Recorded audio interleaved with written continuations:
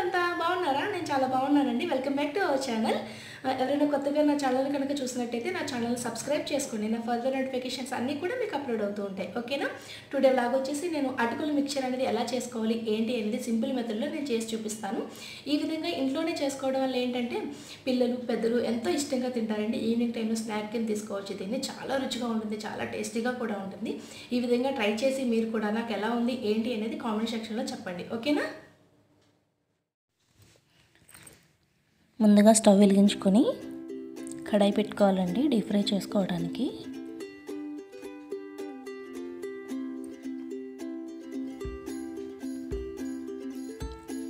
ఇది హీట్ అయిన తర్వాత దీనికి డీప్ ఫ్రైకి సరిపడా ఆయిల్ అనేది పోసుకోవాలి కడాయిలో.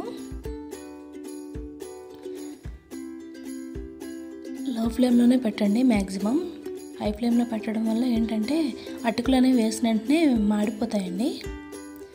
సో లో ఫ్లేమ్లోనే పెట్టి నూనె అనేది కాచుకోవాలి. ఇప్పుడు మనకి మ్యాక్సిమం నూనె అనేది కాగిందండి. తెలుస్తుంది చూసారా? ఇప్పుడు అటుకులు అనే వాటిని మనం కొంచెం కొంచెం కొంచెం వేసుకోవాలి. లేదంటే పొంగిపోతాయండి. ఈ విధంగా వేసుకొని డీప్ ఫ్రై చేసుకోండి. డీప్ ఫ్రై అంటే బాగా గోల్డెన్ బ్రౌన్ వచ్చేంత వరకు కాదండి. జస్ట్ లైట్గా పూహ అనేది అటుకులు అనేవి వేగితే సరిపోతుంది. ఈ విధంగా ఫ్రై చేసుకోండి.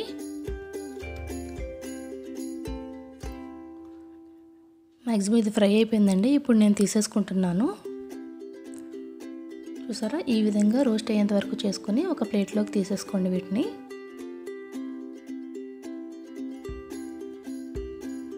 మొత్తం అన్నీ కూడా తీసేసుకోండి.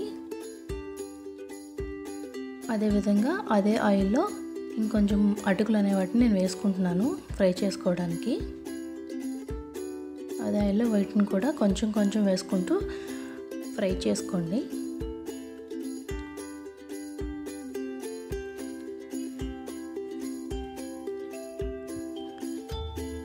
చూసారా? మ్యాక్సిమం వేగుతున్నాయి.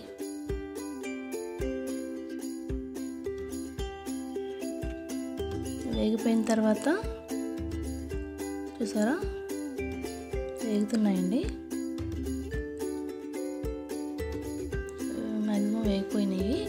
వీటిని ఇప్పుడు నేను ఇందాక తీసుకున్న ప్లేట్లోకి మళ్ళీ తీసేసుకుంటున్నాను. చూసారా? ఈ విధంగా ఇందాక ఆల్రెడీ మనం తీసుకున్నాం కదా అదే ప్లేట్లోకి వీటిని కూడా నేను తీసేసుకుంటున్నాను. అదే ఆయిల్లో ఇప్పుడు నేను వన్ కప్పు వేరుశనగ పిక్కులు అనేవి తీసుకుంటున్నానండి పల్లీలు.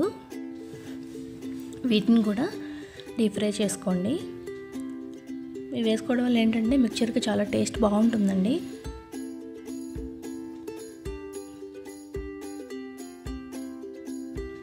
స్టవ్లో ఫ్లేమ్లోనే పెట్టుకోండి స్టవ్ చూసారా? ఇవి వేగిపోయినాయి. ఇందాక నేను ఆల్రెడీ తీసుకున్న ప్లేట్లోకి వీటిని కూడా తీసేసుకుంటున్నాను. అటుకులు తీసుకున్నాను కదా అదే ప్లేట్లోకి ఈ పల్లీలను కూడా తీసేసుకుంటున్నాను.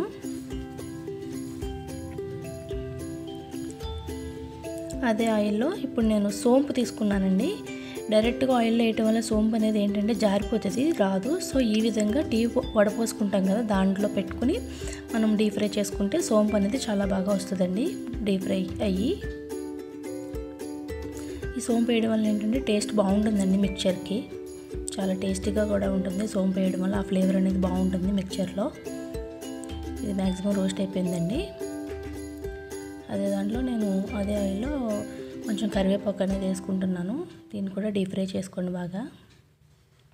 ఇప్పుడు ఎండు కొబ్బరి ముక్కలండి. వీటిని కూడా డీప్ ఫ్రై చేసుకోండి.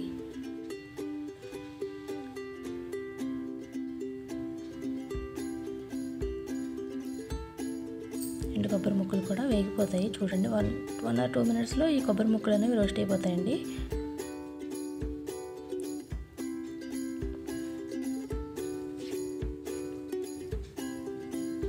వేగిపోయినాయండి. ఇప్పుడు నేను తీసేసుకుంటున్నాను.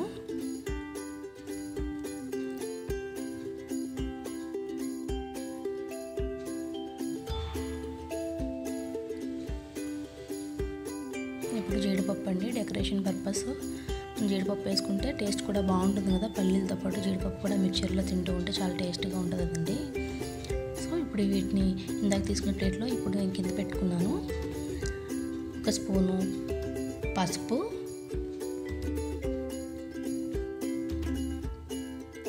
అదేవిధంగా ఒక స్పూన్ ధనియాల పొడి.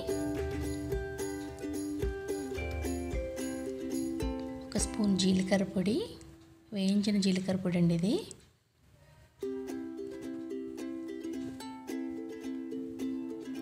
ఎండు కొబ్బరి ముక్కలు కరివేపాకు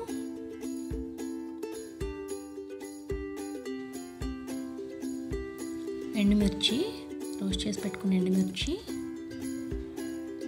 అలాగే పుట్నాల పప్పు అండి. వన్ కప్ పుట్నాల కప్పు వేసుకోండి. వీటిలో టేస్ట్ బాగుంటుంది. ఇవి వేసుకోవడం వల్ల మిక్చర్కి. అలాగే రుచికి సరిపడా సాల్ట్. అన్నీ వేసుకొని మనం మిక్స్ చేసుకోవాలండి.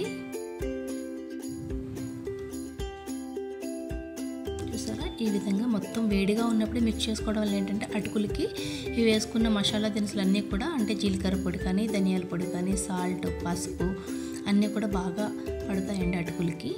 ఈ విధంగా కలుపుకోండి పైకి కిందకి.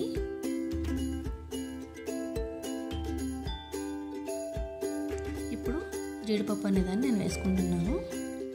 చూసారా? మ్యాక్సిమం రెడీ అయిపోయిందండి. అటుకుల మిక్చర్ అనేది. ఈ విధంగా మీరు ట్రై చేయండి. చాలా బాగుంటుంది.